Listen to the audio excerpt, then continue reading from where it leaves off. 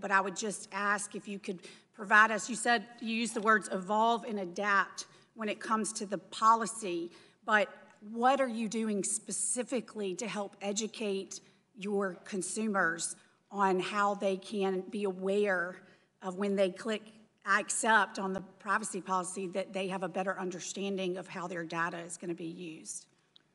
Congresswoman, it's a good question. Uh, and for example, we are sending email reminders for certain types of data uh, that's being collected and asking you to go review your settings. And that's an example of the kind of evolution we are doing and we are implementing. We are looking at combining settings where we can so that it's easier for users. So we want to minimize uh, the number of controls, but we want to match it with users have complex expectations too. Uh, for example, they want some of their devices to be private, but they are okay with some of their other devices being able to be used uh, where location is aware, etc. So we are trying to match users' expectations. Uh, users do tell us when they search for weather or restaurants, they want restaurants near their location and not somewhere else. And, and, and as you can imagine, if someone from Alabama is searching, they want information relevant to them. So that's what we are trying to meet.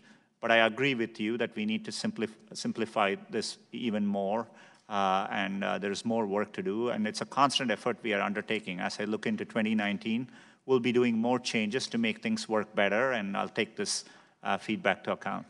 Well, and just one example, my legislative assistant was showing me in the privacy policy where um, it's redlined to show the, the, what the change was, but it's not pointed out to that, I, that I'm aware of, it's not pointed out to the consumer when the policy is updated for whatever reason, what the exact change is. You have to go search for it and find it yourself. And so, um, if I've got that correct, uh, you correct me if I'm wrong, um, but my understanding is you would have to scroll through the entire privacy policy, policy to see where the changes were made. Is that correct?